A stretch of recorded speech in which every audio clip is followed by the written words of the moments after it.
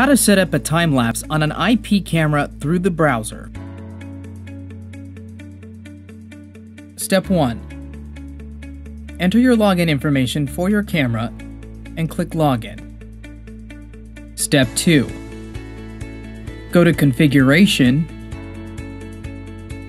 Storage, then record schedule. Step 3. Go to Advanced,